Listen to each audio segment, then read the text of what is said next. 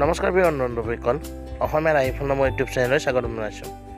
য'ত আমি আছাম এষ্ট্ৰলজি বিষয়ক বিভিন্ন ভিডিঅ' আলোচনা কৰোঁ। আহকচোন আজি ভিডিঅ'ত আমি জানি লওঁ চৌব্বিছ ছেপ্টেম্বৰ দুহেজাৰ বিছ চনত কোনকেইটা ৰাশিৰ ভাগ্য খুলিব আৰু তেওঁলোকৰ ভাগ্যফল কেনেকুৱা হ'ব।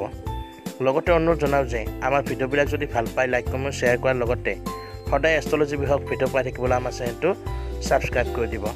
আহক এতিয়া মোৰ ভিডিঅ'লৈ আমি আগবাঢ়ি যাওঁ। বন্ধুসকল চৌব্বিছ ছেপ্টেম্বৰ দুহেজাৰ বিছ চনত এইকেইটা ৰাশিৰ বিশেষ ধৰণৰ ভাগ্য খুলিব। এওঁলোকে ভাগ্যৰ মুখ দেখিব অৰ্থাৎ ভাগ্য সুপ্ৰসন্ন হ'ব। এওঁলোকে জীৱনত বিচৰা সকলো পাব মনৰ সুখ লাভ কৰিব পজিটিভ হৈ থাকিব আৰু যথেষ্ট ষ্ট্ৰং ফিল অনুভৱ কৰিব। স্বাস্থ্য আদি উন্নত হ'ব। পৰিয়ালতো সুখ শান্তি সৌভাগ্য বৃদ্ধি হ'ব। লগতে চাকৰি ব্যৱসায় আদিত উন্নত হ'ব আৰ্থিক অৱস্থা বেয়া নহয়। স্বাস্থ্য দাম্পত্য সকলোতে কেৰিয়াৰ আদিতো উন্নতি হোৱা দেখা যাব।